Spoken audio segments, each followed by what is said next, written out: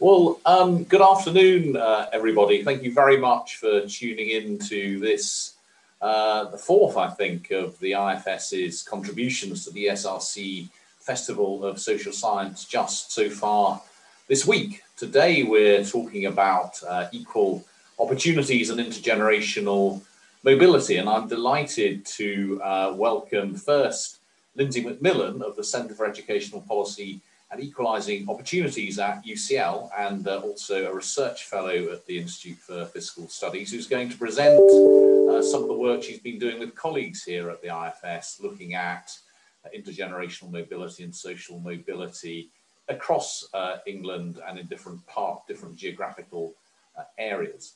Um, she's going to speak for about uh, 12 to 15 minutes and then we've got three um, respondents who will offer their own uh, reflections on social mobility from their point of view.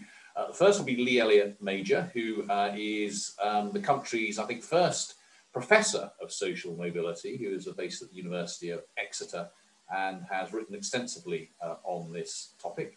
Uh, we'll then have Anne Marie Canning, who's chief executive of the Brilliant Club, which works with uh, schools and universities to promote social mobility. And finally, Liz Williams um, of FutureDotNow, and uh, from, for our point of view, particularly uh, one of the social uh, mobility uh, commissioners who will be giving their perspective on this.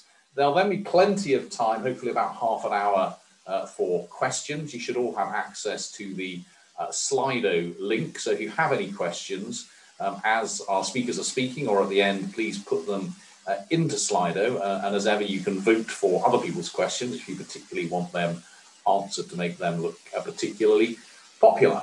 Uh, we're going to go straight through the speakers. I'm not going to interrupt again until they've all uh, finished. So I will stop there and hand over directly to Lindsey. Thank you. So thanks very much, Paul. Um, and as, as you said, I'm going to be talking through a recent report that we've written for the Social Mobility Commission, uh, The Long Shadow of Deprivation, Differences in Opportunities Across England. And as Paul mentioned, this is joint work with colleagues at IFS, Pedro Carneiro, Sarah Cattan, Lorraine Dearden, Laura van der Erve, and Sonia Krutikova. So in this report, we take a detailed look at social mobility in England and more specifically, how equal opportunities are for people from different backgrounds and different places. We make two main contributions here. First, we show how opportunities vary by place. Second, we show why there are differences in opportunities across places in England. And specifically, we're asking, is this all about education or do we need to look beyond that? Now we're able to do this thanks to new administrative data linkages, the Longitudinal Education Outcomes or LEO data. This innovative new data links school records for children to university records and for the first time through into the labour market using tax records. Now this new data allows us to follow 820,000 state educated sons from their schooling including their family circumstances at age 16, and crucially, where they were living, through into the labour market to observe their earnings at age 28 for the first time. Note that we are focusing only on sons here. While this is a source of frustration for all of us, unfortunately, it's the best we can do, given that we only observe annual earnings in our data and not hours of work. This is particularly problematic for daughters since fertility patterns and hence part-time work varies by family childhood circumstance. Now there are four main findings that I want to talk through today. First, using two different metrics of mobility, we show that where you grow up in England does matter for life chances. Second, even when you compare sons with the same qualifications, we find very similar patterns of mobility across England. And what this is telling us is that in the, in the least mobile areas, family background persists beyond educational qualifications. And I'll explain this in more detail in just a moment. The third point to make is that education is still a crucial part of the story. This accounts for on average around 80% of the pay gap across local authorities. But it does not explain differences between areas. Again, I'll explain that more in a second. And finally, in order to level up, we need to take a place-based place-based combined approach, joining up education policy and labour market interventions that seek to equalise opportunities across places. So just to start with the first finding, where you grow up matters, and we show this using two different metrics. The first looks at adult earnings of disadvantaged sons across local authorities in England. Now the map on the left here shows the dark shaded regions with the lowest pay for sons who grew up in disadvantaged families and light shaded regions with the highest pay for sons who grew up in disadvantaged families. In areas with the highest pay for sons from disadvantaged families, earnings are twice as high as in areas with the lowest pay for sons from disadvantaged families. And note that this isn't a north-south divide story. There are dark and light areas spread throughout the country. Our second metric, when considering mobility across England, looks at the pay gap in adult earnings of sons from the most and least advantaged families from the same area when growing up.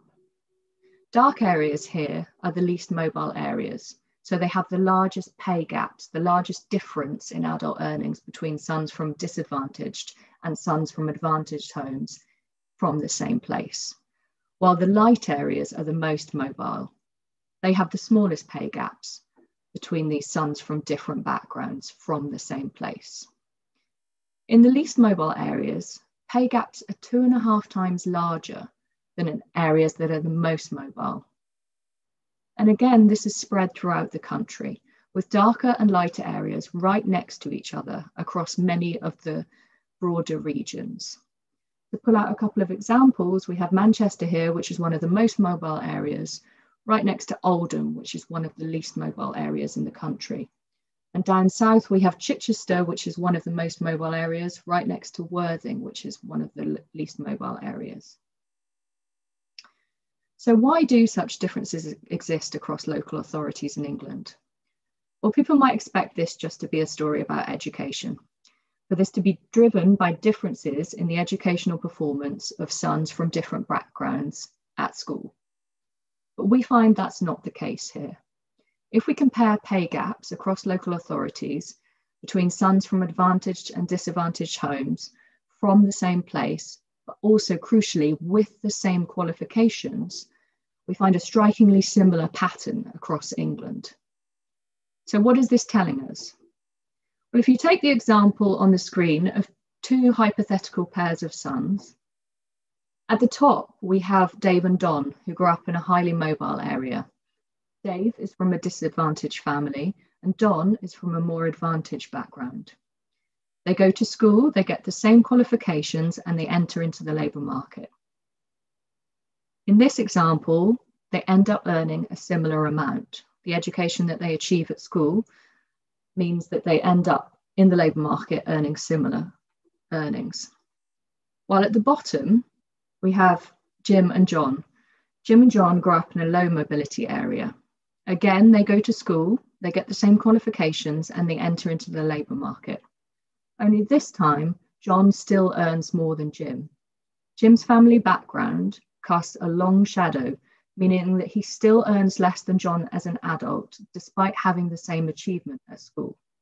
In low mobility areas, education does not equalise opportunities like it does in high mobility areas.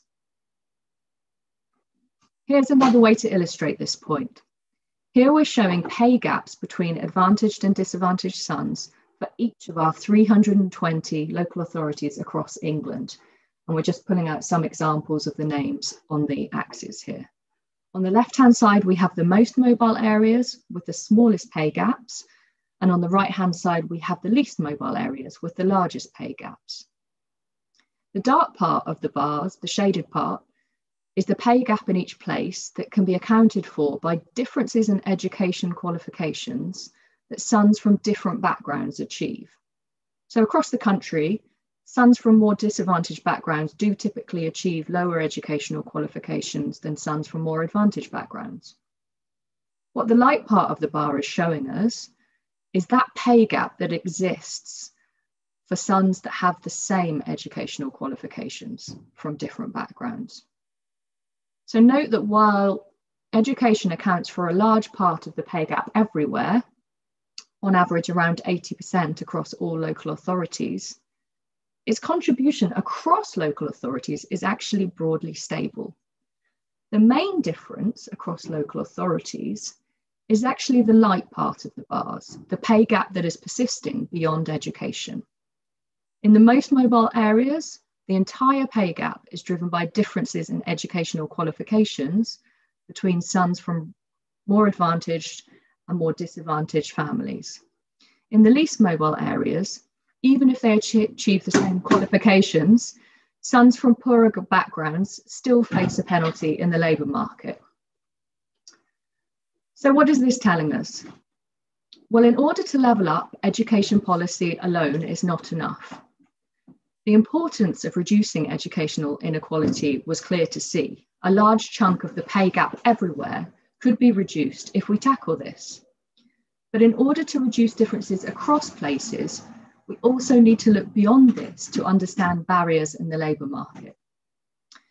We've shown wide disparities in terms of both the adult earnings of sons from disadvantaged families, but also in terms of how they fare relative to sons from more affluent families from the same place.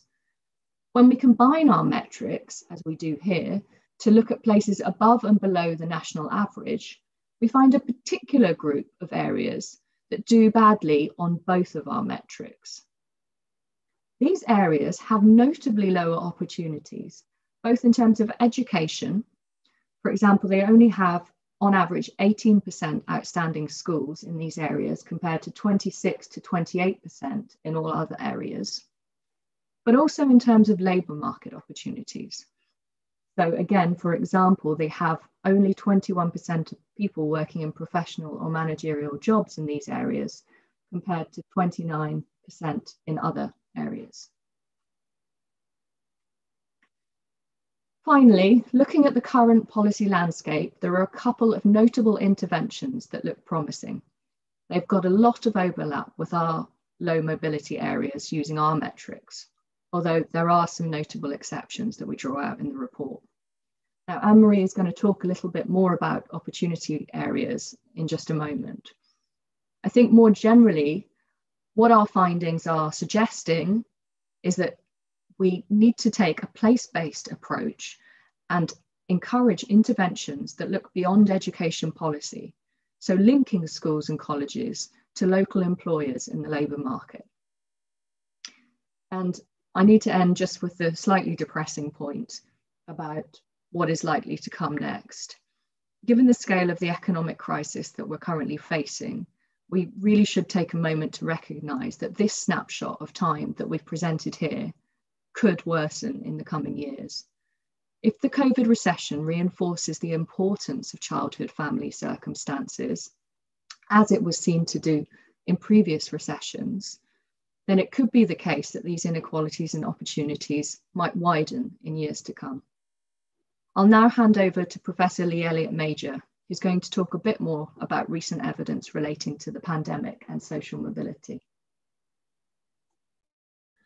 Thank you very much, Lindsey. That was brilliant, um, brilliantly presented, um, complex data.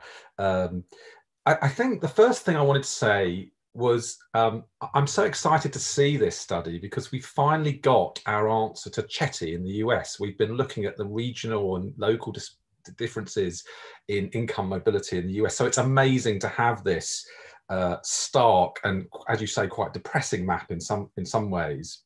I, think it does, for me, signal a number of changes uh, in, in, the policy debate on this.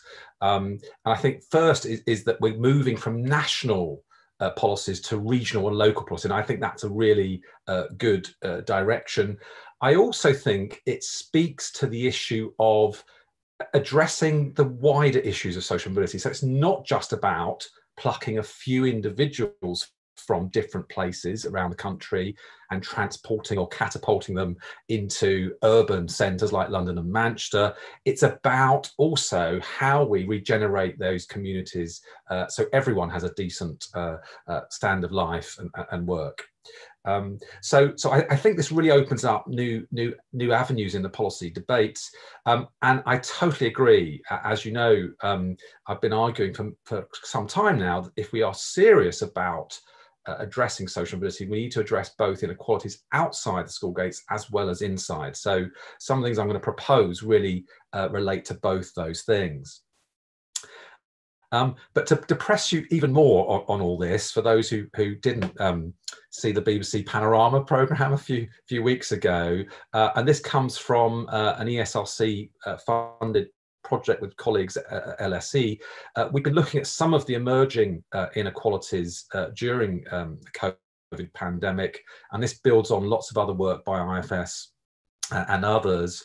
Um, we did a survey uh, in October and, and, and, analysed data from April as well. So this is kind of quite live uh, data. And I guess some just headlines. What we're finding is that those from the most privileged backgrounds seem to be the only ones that are insulating themselves from uh, this crisis, educationally speaking. So they tend to be the ones. So, so private schools, for example, those at private schools are sort of almost twice as likely to have had a full school day during those early partial school closures. But there's also about a quarter of children that had nothing during that, that time. Uh, so I think there's issues at the very top and bottom that I, I think we, we need we need to uh, worry about for different, different reasons. We also know that young people uh, from this research uh, were twice as likely uh, to have lost a job uh, under 25s compared to over 25s. The reason those um, facts and figures are troubling is, as you all know, two of the main drivers of future social mobility are income or, or inequalities in the workplace and uh, inequalities in education. If you've got two of those things pointing in the wrong direction, it probably means that the future maps of uh, regional social mobility will look even uh, more stark. Um, and, and we've got some initial regional data, but it's, it's a very broad regional uh, basis. Um, and at the moment, it looks like, for example, uh, those in the L London and Southeast area had more schooling uh, uh, than those in, in the Midlands and north. But as Lindsey was saying, that the problem with those is their averages, and I suspect there'll be lots of variation uh, uh, within that. So what would I sort of suggest uh, in terms of policy responses to this, this, this report? Um, some of this comes from my book, which, uh, which is uh, available uh, now on Amazon and elsewhere. Uh, and, and in the book, we, we, we identify and suggest a number of, of reforms and I want, I guess, I want to think big here. So I'm sort of um, uh, invoking the sort of New Deal rhetoric of President Roosevelt after the Great Depression um, nearly a century ago. And I think we need to think uh, about similar radical reforms. Uh, the first thing I would uh, suggest we consider are job guarantees, so that, uh, particularly for the young, actually, those that are facing long term unemployment, we all know about the the real um, uh, penalty, the scarring that is caused by long-term unemployment, I would look at creating things like someone suggested National Youth Corps, where you pay at least the minimum salary for young people, but perhaps not just young people, for all people, to do jobs that also contribute to society, maybe the environment uh, or, or education. In the book, we also suggest a national social mobility service, and this would try and tap into the sort of volunteering spirit I believe we're seeing more of uh, in, in, younger generations to maybe do tutoring. Uh, we've already got the national tutoring program, of course, but this would this would be much bigger than that, um, and maybe doing sort of mentoring programs to, to help other disadvantaged uh, young people. So so I I think we need to look at uh, guaranteed jobs uh, and training uh, um, to, to, address some of the stark inequalities in the workplace that we're seeing uh, during the, uh, the, the pandemic. The second proposal I would suggest is is trying to incentivize uh, high performing or high quality teachers to the areas that need them most. Um, that the study uh, that, that you, you presented, of course, showed that both education inequality and uh, employment or work are, are, important. And one of the real um, challenges we've had in education policy is how do you uh, incentivize teachers to get to those areas that need them the most. I think we could look at, at models of this. There, there's models in other countries where you might get higher pay, or it might be part of your uh, career trajectory. Um, I think we need to get careful. I'm just conscious of giving talks to teachers how exhausted teachers are at the moment, but I do think that is the key issue within schools because we know teachers are the biggest factor. Teaching quality is the biggest factor within schools. Um, I would also argue we might want to look at regional weighting of pupil premium to perhaps pay for that for some of that. And then finally, I know Anne Marie is going to talk a little bit more about this, um, uh, but, but I would suggest um, that we pilot more uh, children zones uh, in, in, this country. Um, now, there are there are many uh, that are all already being trialed, but the, the thing that I like about children's zones, and these, when I talk about uh, children's zones or, or, hubs, I'm talking about those that are focused around schools. So these are wraparound services where uh, you, you, you, have a school, but you also uh, offer, uh, well, meals actually a very topical uh, debate in the UK at the moment uh, meals but also medical and, and, and, other services. So they're almost, and many schools are doing this already, by the way, acting like social welfare hubs as, ma- as centres of learning. Um, I think the, the, the, bottom line with this, though, is the, the evaluations in, in things like the Harlem Zone shows that you need to pay for this. So uh, about twice as amount, amount of money per pupil is needed uh, if, if, you, if you look at the Harlem uh, model. So I, I, know there's there's already innovative practice happening across the country, but I, I, guess my my plea would be let's do some more research and evaluation over those models uh, to see if they can work in different parts of the country, both uh, rural, coastal, but also urban contexts. Uh, so I'll finish there because my seven minutes is up. Uh, but my, my, my overall sort of feeling is despite the grim findings that Lindsey and I had presented, uh, this is a real opportunity for us to think big uh, and, and, and address these, these stark inequalities. Over to you, Anne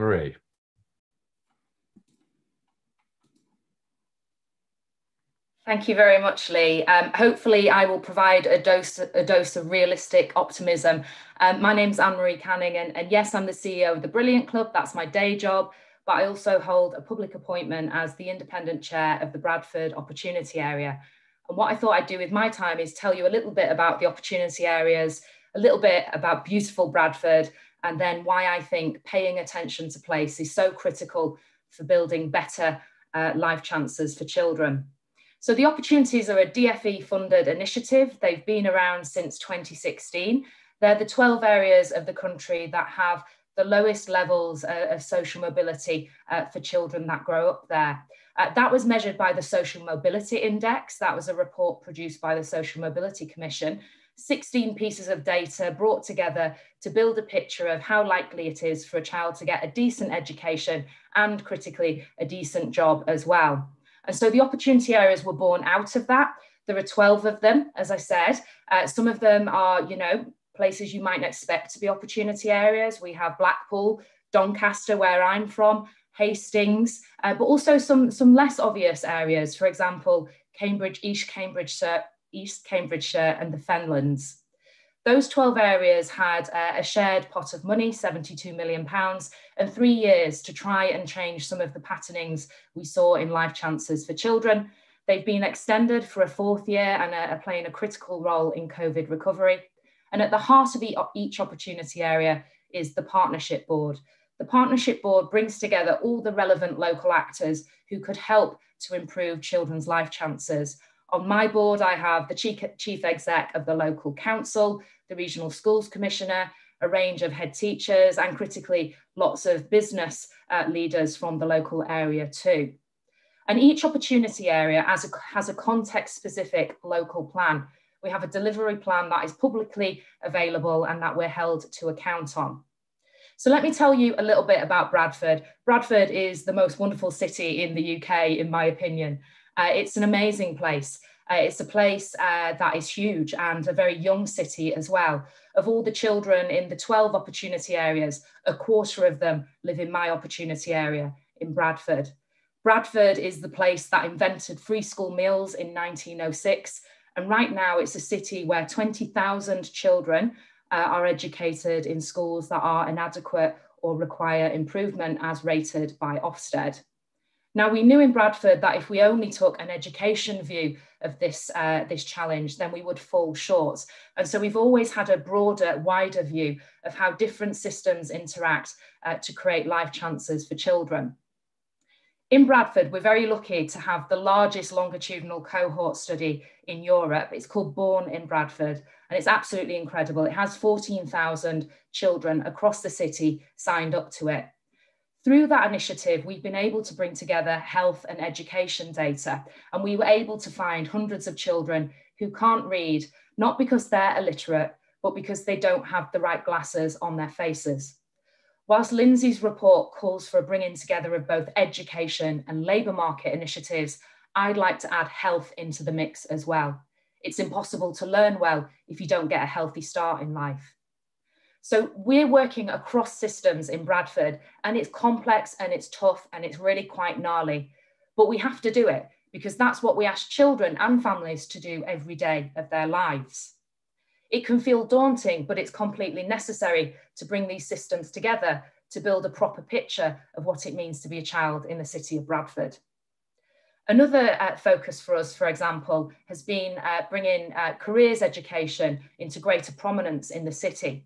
It's wonderful to have great careers education, but actually it's very difficult uh, if there are no meaningful labour market opportunities that match up to that career education uh, locally. And that's why we've worked very hard with colleagues on our partnership board, including PricewaterhouseCoopers, to relocate some of their offices from Leeds into Bradford so that there are meaningful uh, labour market opportunities for young people locally. It means that we have a joined up approach with the local authority on their inc inclusive local growth plan as well. That joined up approach is so critical. And if the opportunity areas have done one thing, it's that it has brought people together around a common framework and has brought together people to act uh, in tandem so that we can create a better future for children. We see ourselves in Bradford as building an ecosystem of opportunity and education is one part of that. But actually, I've spent my career opening up educational opportunity, and it's more obvious than ever before that we have to take a wider view.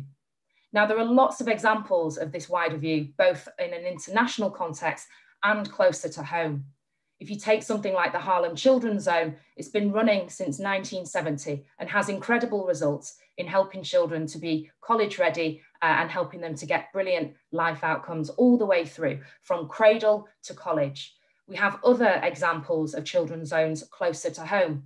For example, the amazing Children's Hub at Reach Academy, Feltham, or you might want to look at the Save the Children uh, uh, uh, uh, community zones in places like the Pembury Estate in Hackney. There are lots of uh, examples of how you can bring people uh, to create better futures for children, to have a common plan about what it will take to help kids get a better start in life. So for me, it's really quite clear. We should be focused on building pipelines of activities for children from cradle to college or womb to workplace. We need a joined up approach across a range of systems so that we can get every single incremental gain possible for children in the UK today. This is not just a, a beautiful idea. This is rooted very clearly in academic research, particularly the work of Raj Chetty at Harvard University, which Lee uh, mentioned earlier on. You only have to look at the results from some of these children's zones to realize that it makes perfect sense to take a holistic view of what it means to be a child in one of these places. The reality is, is that social mobility is a contact sport and it will be won city by city, town by town, village by village. And so what I'd like to see in the UK today in response to reports like Lindsey's is a real focus on how we bring people into common alliance to create a better future for our kids. I'll hand over now to Liz. Thanks very much, Anne-Marie. Um, good afternoon, everyone. Um, I'm delighted to join you today. Um, I'm Liz Williams, one of the Government Social Mobility Commissioners, the organisation behind the research Lindy has shared. Um, as a commission, we wanted to understand more about the impact of place, how where you live affects your life prospects. And as we've heard this afternoon, it's incredibly important. The Long Shadow report shows us that education is crucial for social mobility, but on its own, it's not enough. It must be aligned with the labour market and skills if we are to level up. and ensure that achieving qualifications translates into good life outcomes. That's the key finding of the Long Shadow report. And, and my congratulations to Lindsey on bringing it alive for us all this afternoon. But Long Shadow is one of a number of research reports that, that we published at the Commission. And I wanted to bring another to your attention this afternoon. It's called Moving Out to Move On. It's on our website. Unfortunately, um, we have a rather long URL, but if you put Social Mobility Commission into your search engine, you'll find us. Um, this report found that people often need to leave home to be socially mobile. Just think about that.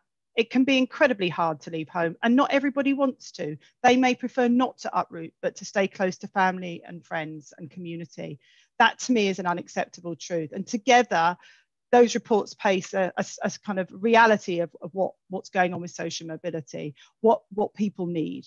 It's a sad fact today that where you live has significant impact on your life chances. Um, I often talk about talent being everywhere, but opportunity being in shorter supply. And these reports really underline that. And that's simply wrong. Everyone should have access to opportunity. If we are to see change in the UK, we must align, as we've heard, education outcomes with the skills required by employers and access to jobs. But we also know that the UK isn't homogenous, as, as Anne-Marie has been talking about at the Commission, we recognise that local leaders know their areas best. And at this point, it's probably worth me sharing that we're a very diverse group of commissioners. We come from all corners of the UK with very different life experiences.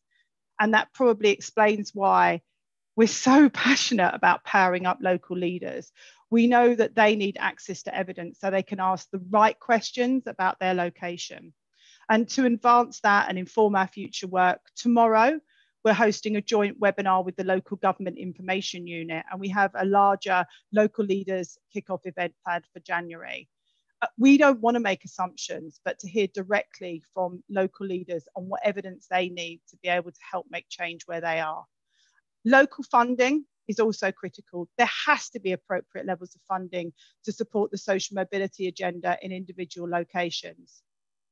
Every year, the Commission publishes a monitoring report, and this year we published it in June. Again, it, it's on our website, you can find it there.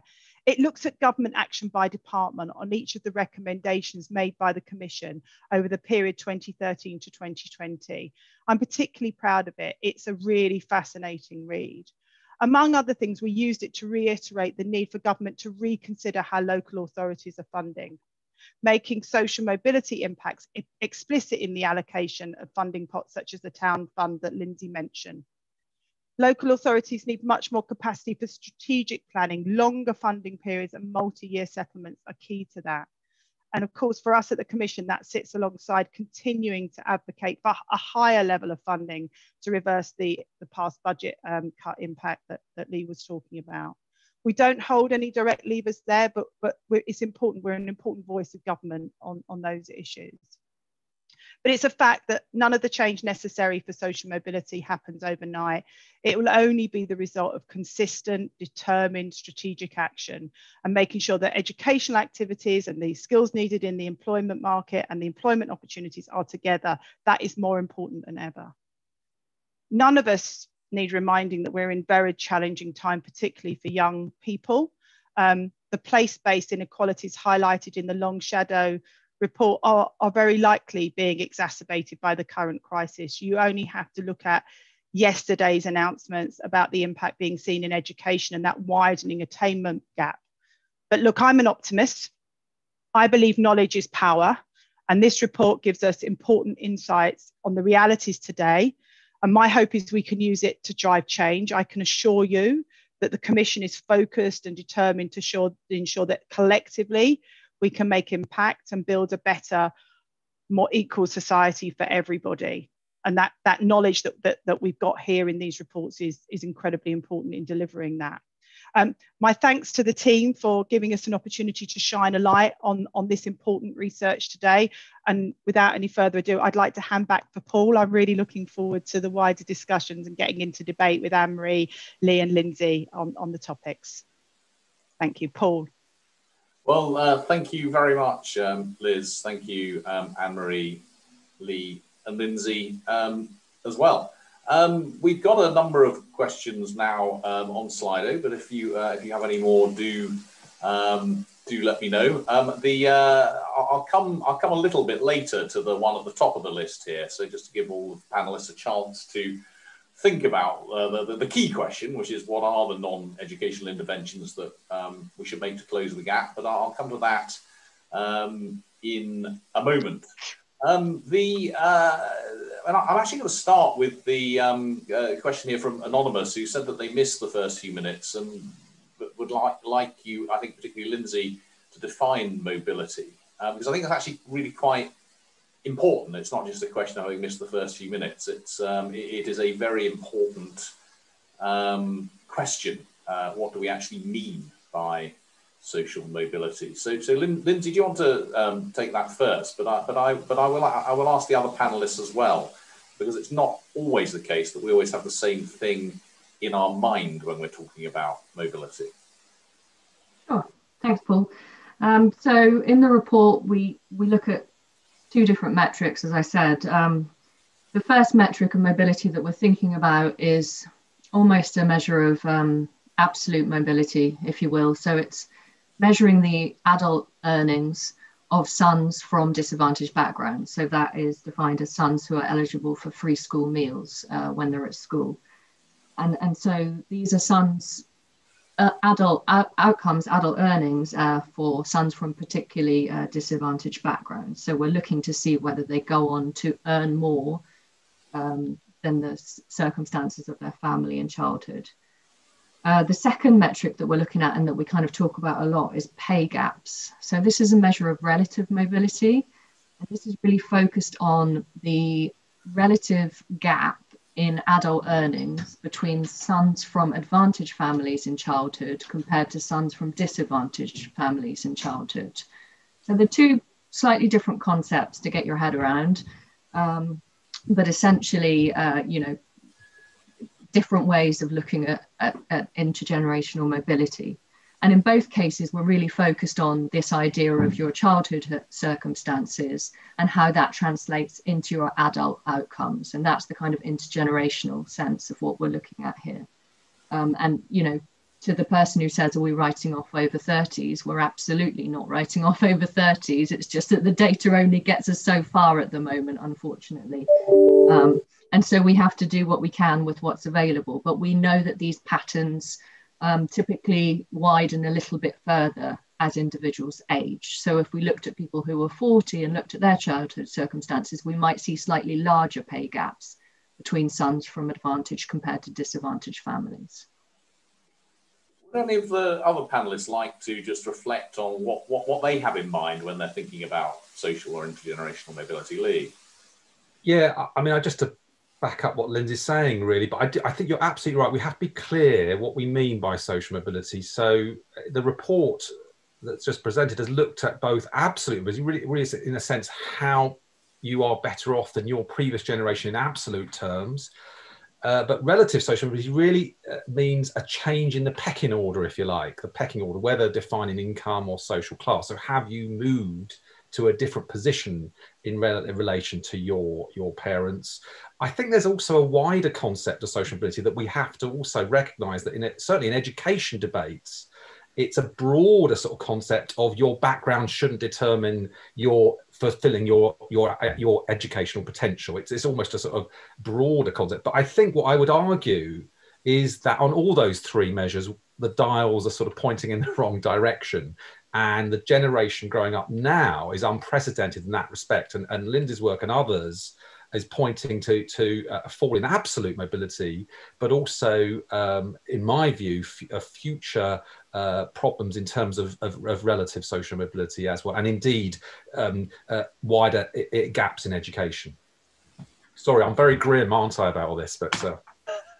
I don't know if it's maybe I could come in. I, I have a, I mean, th- those are brilliant academic definitions of it. I, I always think really simply, and I just think where you start shouldn't limit where you finish. That's what, whenever somebody says to me, what do I mean by social mobility? I, I always think that. Um, but those were brilliant, much more academic, rigorous uh, definitions of it. So um, I defer to them. I suppose one of the questions that that raises is um, you know, we, we generally think of um, Lindsey and Lee referred to as relative mobility. In other words, uh, which was essentially what Liz was saying, where you start shouldn't determine where you um, finish. But in a world in which we start further apart, in other words, if there's more inequality to start with, then presumably there's more work to be done to achieve that kind of uh, mobility. If we all started reasonably close, then it would be less difficult to move up and down. But as we start further apart, then it's more difficult. I don't know. Um, I mean, again, Lindsey or Lee, start with, whether you would like to reflect on the research evidence on, on that. Yeah, I mean, uh, Lindsey will know a lot of stuff on it. I mean, my view is that the evidence is pretty clear on it. If the rungs of the ladder are wider apart, it's harder to climb the ladder. Now, uh, you'll all know the de- academic debates on this, whether whether yeah, there's very strong evidence linking levels of inequality across the world with uh, levels of immobility. So the UK and US have both high inequality and low social mobility or income mobility. Some would argue that's only a correlational relationship. I would argue that, that there's pretty compelling evidence that there is a causal link. And you know, mobility is about as where you start and, and how you move along the road. You know, it's, it's both those things. And in my view, uh, any politician or anyone who's, who's serious about social mobility has to address inequality as well. You can't ignore it. Yeah, I think, you know, just to back up what Lisa said there, you know, the so called Great Gatsby curve uh, paints this picture pretty clearly that inequality and immobility are kind of inextricably linked. Uh, to say it a different way, you can't have equality of opportunities without having equality of outcomes and vice versa. Um, and so, as you say, Paul, the, the, rungs of the ladder getting further apart will always make this task more difficult. And anyone who thinks that we need to have a broad social justice view on life is kind of missing the point that, you know, we also need to have a view on equality of opportunities as well to get to that point potentially the other thing, just quickly, Paul, to add to, to, to that, uh, what I didn't mention in responding to Lindsey's, Lindsey and colleagues' study is, and I know uh, Lindsey was careful to say this isn't just about poverty and that, that, mobility levels vary even, even for areas with similar poverty levels, but it's still the case that in Britain we have extremes. You know, there, there are parts of the UK that are the most poor areas in Europe, and we also have the richest areas in Europe. So I think you know, by European standards, we are very unequal. Yeah, it's interesting actually within that, London is much the most um, unequal um, of areas of the of the UK. But but I think I recall, Lindsey, that it's also relatively socially mobile on your measures. That's right. That's right. London comes out pretty well in terms of the relative pay gaps. Um, it's not altogether surprising given what we've been seeing happening in London schools for a good period of time now with regards to the high performance of particularly free school meal pupils in the capital. Yeah, it's, it's slightly by the by, but it is very interesting the work on London, which, uh, you know, London is the richest part of the UK because obviously it's got uh, all the rich people, but it's got pretty much as many poor people as any other part of the of the UK. London isn't rich because there's no poverty there. London's rich because there's a lot of very rich people. Um, let, us come on to the um, you know this kind of key question about what are the non-educational interventions um, uh, that might be best for closing uh, the gap. Anne Marie, would you like to start on that one? Yes, thanks, Paul. I think I've, I've made a case around why I think health and education are, are so vital to bring them together.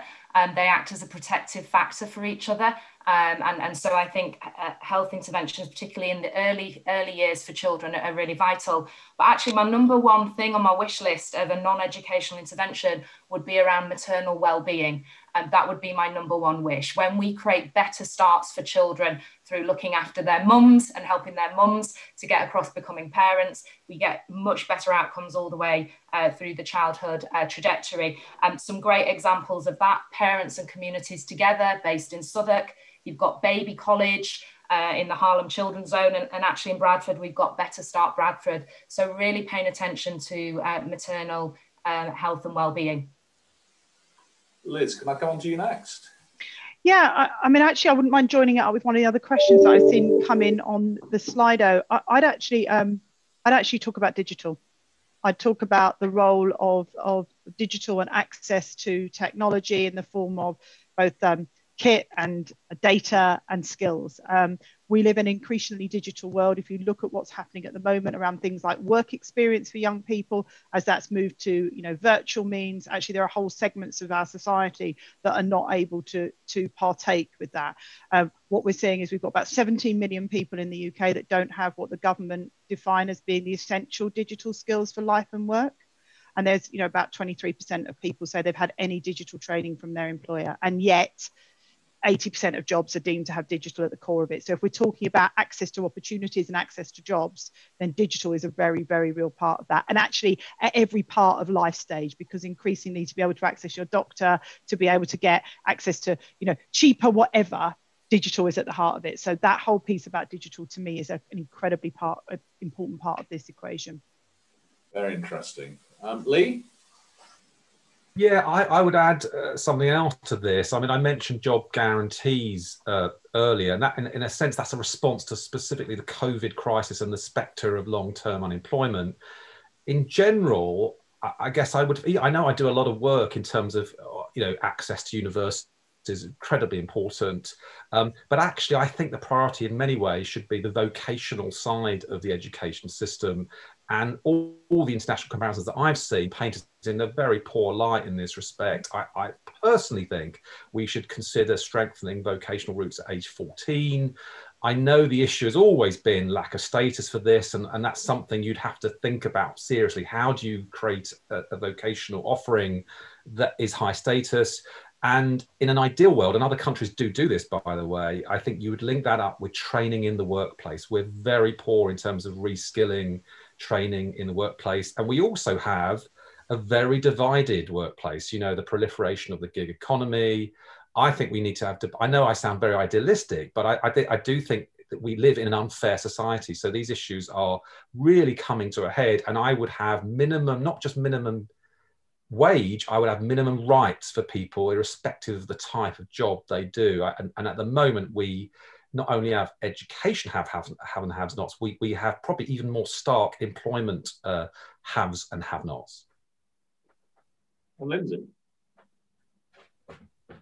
I don't know what to add to all of those brilliant answers, but um, I think for me, there's kind of two main points here. And one that Anne-Marie kind of made a very good example with in, in her talk was about PwC moving offices out to Bradford. You need to get jobs out to the areas that don't have the opportunities. That's the first and, in my mind, the most fundamental kind of restructure. I know we've been trying to have an industrial strategy for at least two decades, but we actually need one that works at some point. And of course, it's going to be tough. But the other point, which speaks to the digital skills and the need for this, is kind of this join up between recognizing what employers are needing, what skills we need in the labour market, what the demand's going to be, not now, but in five years and in 10 years, and that feeding back down into the education sector. And to speak to Lee's point about credible vocational qualifications, having the buy-in of employers that we're teaching the kids these skills these are the qualifications that they're getting and these are credible and valuable and seen as that by employers who then go on to employ these kids in the labor market. It's that full process all the way through the pipeline from education into the labor market that seems to be i mean there are good examples in oldham where it's starting to happen for example but it just seems to be missing in so many places well, thank you. That's a fantastic set of answers. So, um, you know, focus on the welfare of, of mothers, a focus on digital uh, skill and access, a focus on uh, vocational uh, training and training in the uh, in, in, the workplace, and the uh, and the need for recognition of that and uh, flowing right through the education and work system. So, they're big ideas, but but not. I mean, none of those feel to me unachievable I mean, I mean that that's quite. I mean that in, in a way, that was quite positive. It wasn't sort of you know throw everything up in the air and start again. It was a set of what feel to me to be broadly uh, you know, manageable if big um, if, if big things that if government really focused on, they could make some progress with. Um, th- th- th- there's one question here which is um, uh, couched um, uh, in a particular way, which um, I think really gets at uh, I think some people's real issues with um, social mobility. It's couched here as Um, some have grown rich upward mobility and can buy second homes in London and drive my children out of the market. How do I celebrate and commiserate both?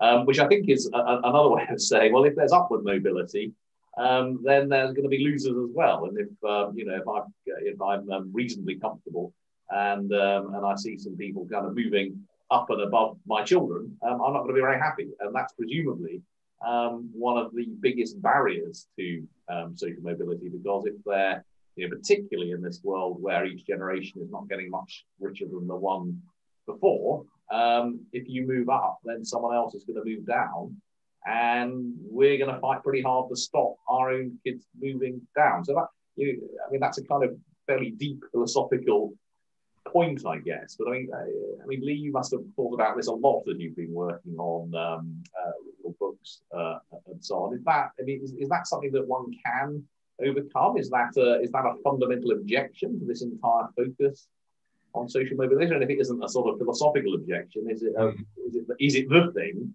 that politically will stop it.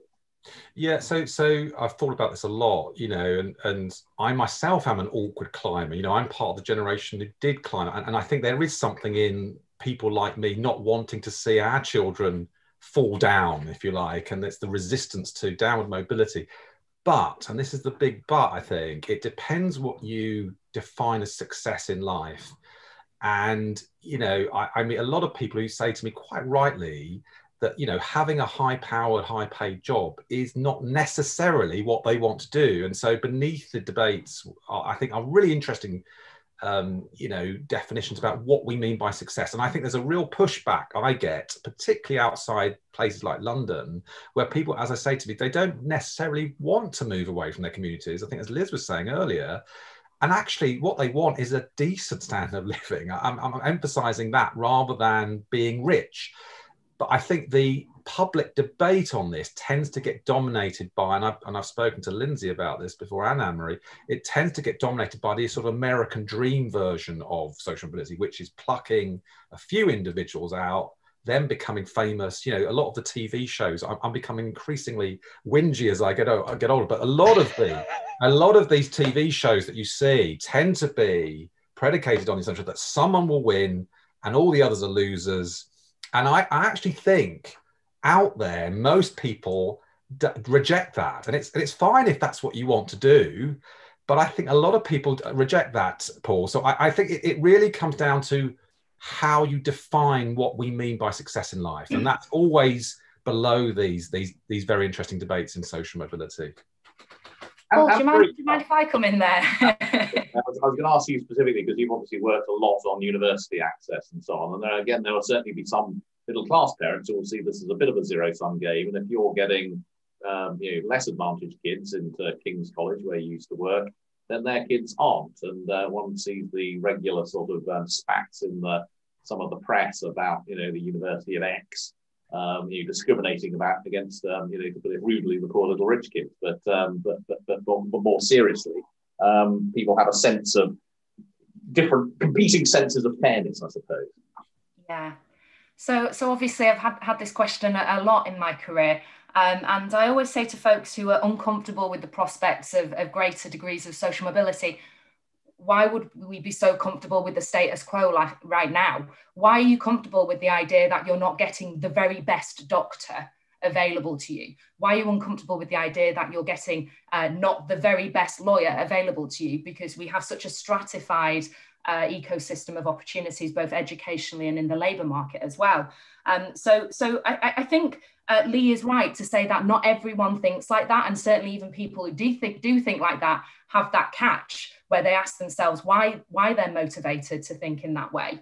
Um, and I think we're we're um, under underplaying the extent to which social mobility is seen as a, a common good here in the UK. Um, we, we know that in places that are more socially mobile, more socially fluid, that we have greater degrees of productivity, uh, we have uh, more trusting and happier societies. You know, these are these are things that people want uh, for our world here in the UK, and social mobility is is one of the routes uh, uh, to getting that. And Lee is also right. I, I, really, I'm really uncomfortable with this idea that folks in Bradford and folks in Doncaster and the village where I'm from are uncomfortable with the idea of social mobility. I, I just don't think that's the case. Uh, they want a decent range of opportunities for their children. And I can't help but thinking about my brother who uh, is in Lindsey's data set desperate to become an apprentice and never had the opportunity to secure that and, and really flourish uh, until he became uh, uh, sort of early 20s. So uh, I, I, think people are hungry for social mobility. And I think this idea of us becoming more socially, uh, it feels like society is becoming more socially sticky. It's like people's feet are becoming glued to the ground in some places. And and folks have seen that in a steady show reel over the decades. You know, Bradford, the wealthiest country at the turn of the century, uh, the wealthiest city at the turn of the century, now really struggling to create uh, wealth and opportunity within uh, the walls of the city. So um, I, I, have quite a, an animated view on, on why folks should feel positive and, and, celebrate some of the social mobility gains we've achieved and also the challenges we have uh, set before us as well. I, I, suppose the real issue is, is, is this question of whether there is more room at the top. I mean, social mobility is a lot easier when there is absolute upward mobility because then everyone feels better off. And when you don't have that absolute upward mobility, then it's easy to talk about social mobility in positive terms. Without the overall upward mobility, then it must mean downward mobility for some. So I guess the two are very closely linked. I guess, Liz, you must be thinking about that quite a lot as, as part of the Social Mobility Commission. Yeah, I mean, I, I, don't, I don't have the answer to the, I don't have the answer. I don't have a silver bullet. I mean, I I, I love Lee's point, and actually, it's a question I always ask to particularly young women that I mentor. I ask them, what does success mean to them, and try and challenge that view about does it just mean your your work outcomes, or, or what does it really look like? But ultimately, it's about choice, isn't it? and and you know actually you might be able to make you know you might be in a position a privileged position to be able to make a choice to go and work part time or decide to do X, Y, and Z. But actually, if you're Anne Marie's brother who can't get access to an apprenticeship because he doesn't live in a place where there are access to apprenticeships, whereas my son, who did want to do an apprenticeship, didn't want to go to university, was fortunate. I live on the south coast. There's very little here in Portsmouth, despite what it might say on Lindsey's chart. But he was fortunate that his grandparents live in, in London. So he was able to, he had the choice to go and live with them for a period of time and take a London based apprenticeship and he had to move place to get it. So it's that thing about choice. And i so i to me i i, I always come back to, back to that and, and think there are too many people in this world that don't have choice. So i haven't answered the question very well but i i, I absolutely um, agree with lee about it shouldn't be a zero sum game and we just have to try and um, keep keep pushing forward. So rather than come to you on that one Lindsey i just want to squeeze one final question in a, a quick fire answer to this one of the questions that we we've got um, what's one thing that employers should do uh, to promote uh, to promote mobility? Um, I'll come. I'll, I'll, come to you last to sum up, uh, Lindsey. But uh, let's start with um, let's start with Anne Marie this time. One thing employers should do. Uh, there's a fantastic piece of work by the Social Mobility Commission and uh, the Bridge Group, which is uh, the Employers Toolkit. It's a range of things that you can collect through your recruitment processes, data pieces, and implementations uh, in your processes that will mean that you can make better decisions uh, and spot talent to a greater degree. So, uh, to implement the Social Mobility Toolkit from the Social Mobility Commission. Lee. Yeah, I mean that's a great report, and it, you know, but what in one response, but I, I would say to add to that, you have to have diversity on your senior board and whoever that is in terms of ethnicity, gender, but also social class, stroke, income, and, and that, there's not enough diversity at the top still. So that that has to be the case. Liz. I think both of those are absolutely spot on answers. The other thing I'd say at a very tactical level, I'd say more uh, work experience, giving young people access to be able to see the opportunities that are there, and actually a lot more entry level jobs that are not necessarily predicated on having a another qualification, but are much more around your aptitude to be able to do the job. And you know, I've worked very closely with organisations like Movement to Work that have really been pushing against that. But Anne spot on. Go and have a look at the toolkit because there are lots of things in there, and if you can sign up to that, then as an organisation, you'll be going a long way. Lindsey, well. Oops. Paul, I just wanted to add it's Living Wage Week, and it would be, I would feel terrible if I didn't add that one of the key things employers can do is a credit as a living wage employer. Lindsey. last word. Always great to come last with these amazing people on the panel. Um, I think broadly to sum up what that what what's been said here is that uh, employers can look at both their access policies and their progression policies. Um, there's evidence that both access to and progression within jobs is is socially graded. You know, there's discrimination by gender and by ethnicity as well. You know, let's not forget the intersections of all of those key characteristics. And there's a lot that employers can be doing. We're working with a group of employers to look at their recruitment practices to try and help them figure out where they are penalizing people from disadvantaged backgrounds and from different kind of key groups. And so I think there's a lot of work going on in this space, but it's about employers getting involved and noticing that there are these problems. You know, the employer tool, the employer index came out today. Um, there's a lot of great employers at, you know, near the top of that list who are doing really good stuff in this space. And um, I'd encourage more employers to get involved and to sign up in that area. Fantastic. Well, thank you all very much. We have hit exactly um, three o'clock. Thank you for uh, keeping the time and for timing those answers so perfectly. Um, thank you all for uh, listening uh, and watching. I hope you agree that was an incredibly insightful set of uh, contributions on this topic, which um, I'm sure won't go away in our lifetime. So thank you, uh, thank you, Liz, thank you, Lee, thank you, Anne Marie, thank you, uh,